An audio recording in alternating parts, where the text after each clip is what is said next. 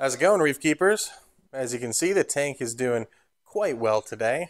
Going into the weekend, I uh, definitely got to do some uh, scraping of the back glass. Got some general maintenance to perform, but uh, yeah, everything's looking plenty happy. But today, not really looking to talk about the tank itself, not the display at least. Uh, I want to go over how I am dosing Kalkwasser to my tank.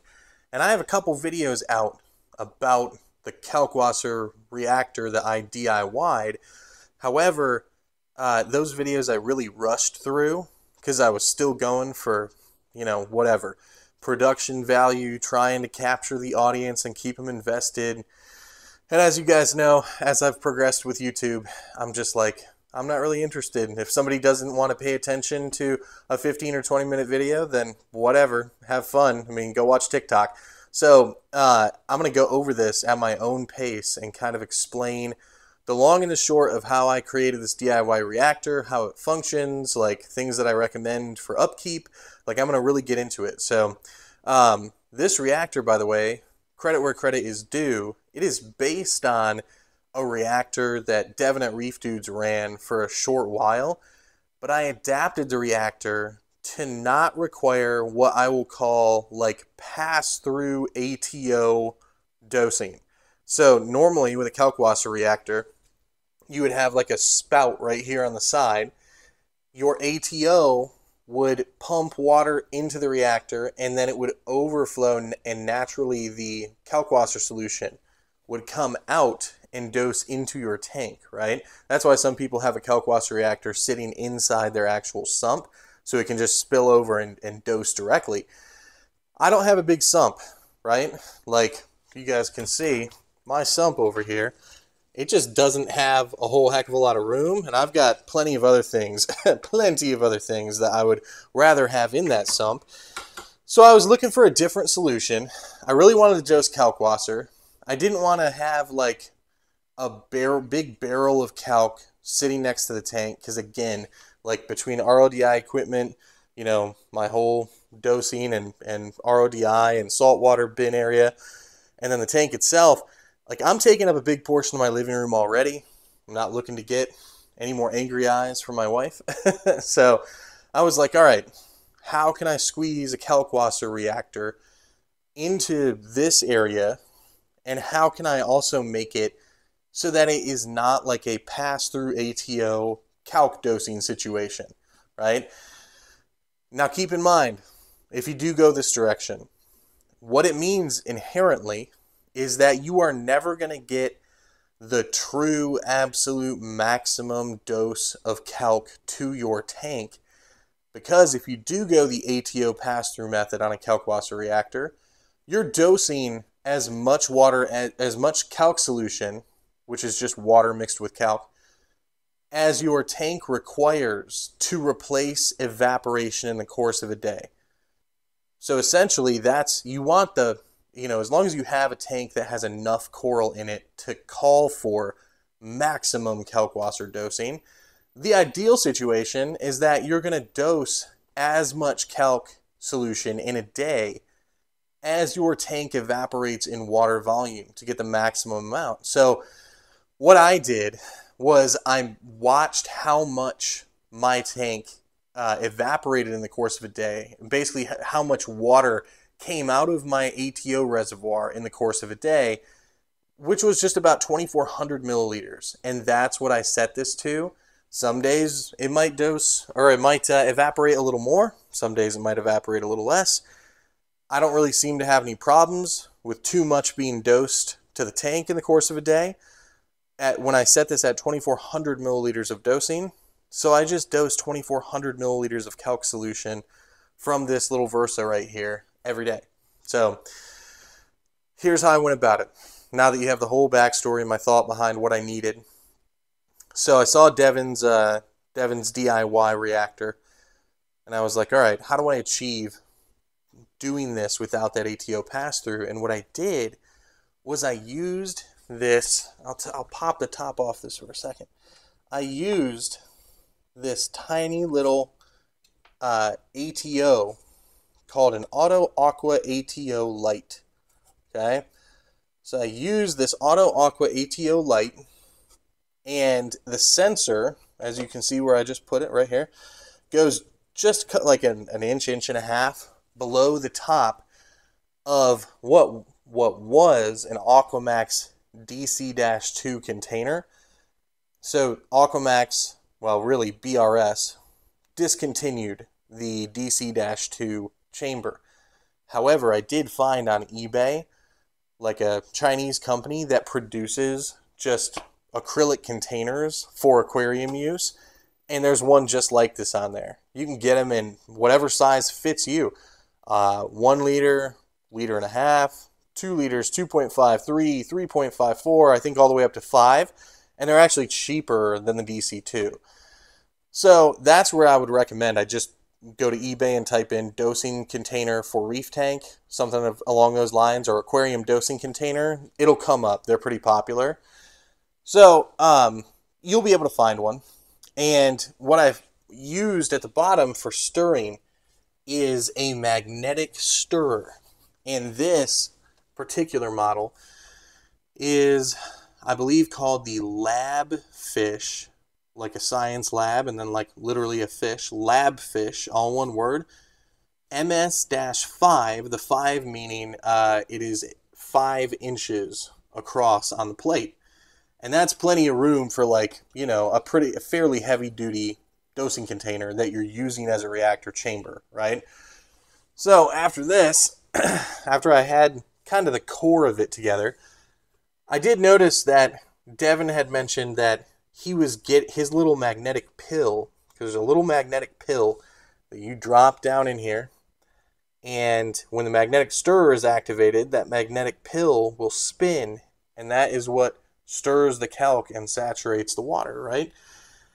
Devin had mentioned that his little magnetic pill was carving out a little a little notch in the bottom of the soft plastic at the base of this chamber. So what I did was order a I just went on eBay and there are glass makers on eBay.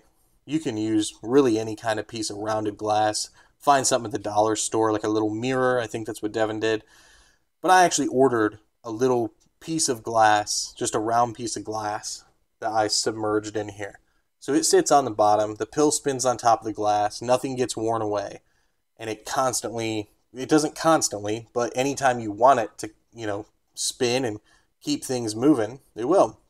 However much you program it for. What I do is I program this thing to go off for 10 seconds every three hours. So that, that little pill in there at about 25% speed just spins for 10 seconds every three hours. Okay. Simultaneously, I have hooked up to the same outlet on my EB832 for my Apex controller. Simultaneously, the eight that little mini ATO that I just showed you also activates. This is the inline that comes from my ATO reservoir. So during that 10 seconds that I am stirring the kalk powder, the ATO also just spits in through this tube at the top right here and fills back up the reactor. So no matter how much has come out of the reactor in the last three hours, I dose real heavy at night with kalk no matter how much has come out in the last three hours, that 10 seconds is enough for that little ATO to just fill it right back up to where it was, which is great. And I even added to this a uh, pinpoint pH probe just so that I would know if there was a nosedive, like it maxes out. So, I mean, it, it basically hovers at like 12.3 pH or whatever because the kalk raises the pH so much in the solution. I basically know that if it goes, you know, low at all, like for some there's something wrong. Like the stir plate isn't activating or the magnetic stirrer got stuck or something. Okay? And that is one thing to note. Now, I never run out of kalk in the course of a week. I just dump everything out and put new kalk in once a week as part of my general maintenance. You can see the line of kalk powder in the bottom. I put uh, a one third cup scoop of Kalkwasser into this thing once a week. and I never run out of kalk powder. I mean, by the end of the week, it'll be reduced down, you know, close to the bottom. You know, I have a few milliliters of kalk powder left that have not, you know, um, gone into solution, but it has worked out great for me. And I use, and I would recommend, a continuous duty doser, right? Whatever continuous duty doser you prefer. I had this Versa. It's fine. Unfortunately, it's only Bluetooth because Aperture doesn't care about adding features to anything because um, they don't care about us. But it works. You know, I'd get something that you could, you know, connect to Wi-Fi, uh, especially for the price of some of the better reputation uh, continuous duty dosers. But I would recommend a continuous duty doser for it. And I've got, you can see the dosing line is right there, this guy. And that dosing line actually comes down to about here. So about midway down the chamber body. I hang that. That's twofold for two purposes. One, at night when this thing's dosing heavy, it'll get down to about, it'll use up about this much of the chamber. And I know that that dosing line will hang a little bit below that, so I'm never pulling dry.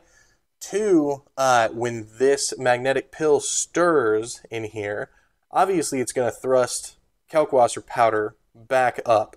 And I've got the doser to go dead after a stirring event for like 10 minutes to allow all the particulates to settle. The thing is, it's always going to pick up some, and you can see in the line here, like the line is, you know, you can see it's clear. It's definitely pulling and pushing kalk through, um, but it's always going to pick up a little bit. I clean the lines out on this thing maybe once a year. Um, you know, I've done it like once. So, and it wasn't even blocked. However, you want to minimize the amount of kalk powder that's gathering in your lines.